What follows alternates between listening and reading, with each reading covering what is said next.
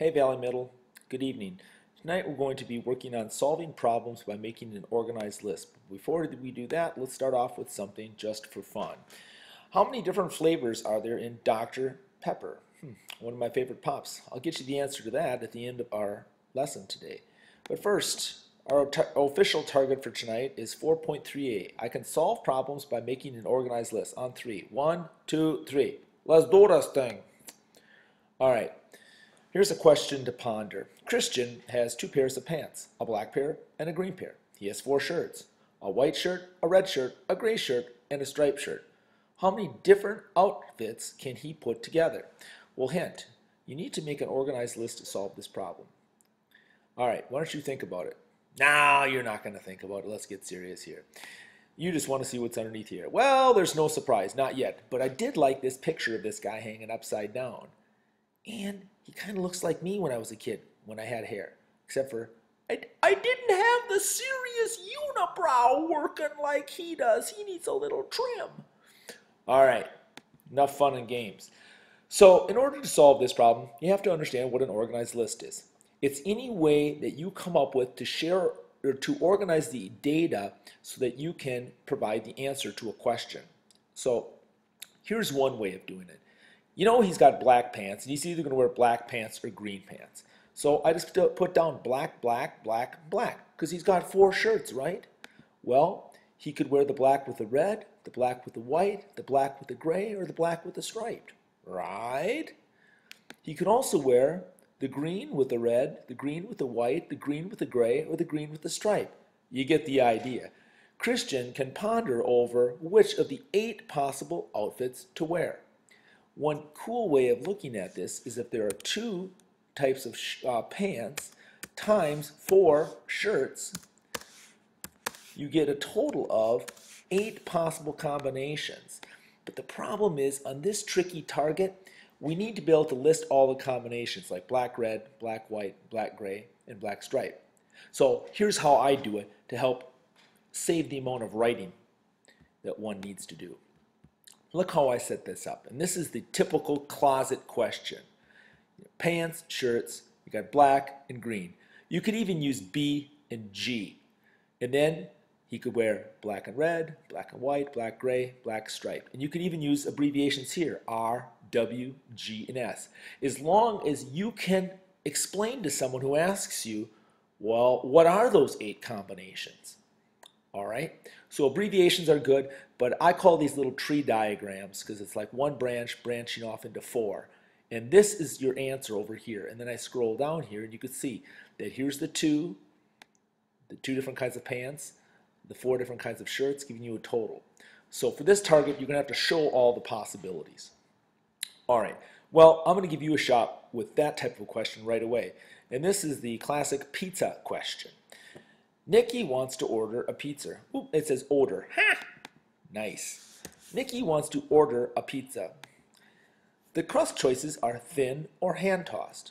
The meat choices are pepperoni or sausage. The vegetable choices are olives, mushrooms, or banana peppers. She wants one kind of meat and one kind of vegetable on her pizza. How many possible combinations are there? All right, let me give you a little bit of a hand here. I'm just going to grab a highlighter and highlight a couple things. Well, the meat, you got, it might help if we had one we could see. You got thin or hand-tossed crust.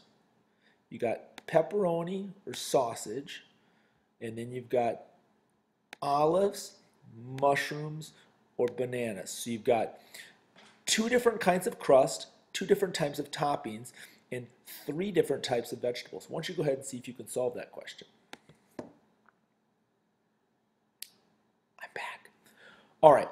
Well, if you used my, followed my advice, you took and made a little chart like this. And so you had thick, I'm sorry, thin or hand tossed. I just abbreviated T or H. Then you had pepperoni or sausage, so it could be a thin crust with pepperoni or a thin crust with sausage. And then from those, you could have uh, um, olives, mushrooms, or banana peppers. So I just made this little guy of three and I copied it and just pasted it in because it could be thin with sausage, uh, and olives, or thin with sausage and mushrooms, or thin with sausage and banana peppers. So your answer is going to lie over here. These are the total number of combinations. So you've got two here, two types of crust, two types of meat, three types of vegetables. Two times two is four times three. You have a total of 12 combinations. And you could, if somebody asked me, I could say, yeah, this is hand tossed with sausage and olives. All right? So use abbreviations, but try to use these tree charts whenever possible. Good job. We're moving on to the next question. This is the dreaded family picture question. Test makers love making this one up. So the McBushy want to have their picture taken. How many different ways could they stand for their picture or arrange themselves? Okay, go ahead and try. Oh wait, you want to see the McBushy brows? I'm, I'm not sure if you do. You better get permission from your parents. Uh, yeah. I'm just going to call these thing one, thing two, and thing three. You know what I'm saying? All right. Well, we've had our fun. Let's see if we can solve this problem. The way you do this is there are three people. So you just take the number three and you multiply it by 2, and you multiply it by 1. You count down three, two, one. That'll give you a total then of 3 times 2 is 6 times 1 is 6. There's a total of 6 possible combinations. So it's a real easy way to figure out how many possible combinations there are in one of these family picture uh, problems. But for this target, you got to list the combinations. So I put down 1. It could be 1, 2, 3 or 1, 3, 2. Then I went to my next one. I went to 2. It could be 231 or 213. Get it? 3, 321 or 312. Therefore, all the numbers had a chance to be at the beginning, a chance to be at the end, and in the middle. Okay? So if it was four people, it would be no different. It would be 4 times 3 times 2 times 1. And then you'd have to figure out all those different combinations and make a little chart to figure it out. So remember that one. Um, once you figure out the total number, you can go back and put together a little chart. But it's nice to know how many combinations there are going to be up, top, up front. For the test, we'll ask you not only how many combinations there are, but to show us your work so we can see that you can actually prove what all the different combinations are. All right, then there's one more type of question. That is the classic sandwich question. Test makers love making sandwich questions. We're boring people. We got nothing better to do than sit around and think about stupid types of sandwich questions. So I thought I'd write about Miss Holman across the hall there. Miss Holman has two kinds of bread, pumpernickel and whole wheat. She has two kinds of meat, bologna and olive loaf. She has two kinds of toppings, radish and cucumbers. If she only uses one item from each of those groups, how many possible sandwiches can Miss Holman make? I think a better question is, who wants to eat a pumpernickel and cucumber sandwich? Even better question, or better tip, if she asks you to switch lunches with her, tell her you're not interested. All right, back to the, uh, the problem. So she's got two different kinds of bread, two different kinds of meat, and two different kinds of topping pause it and see if you can figure out how many combinations and what they would be. Go ahead.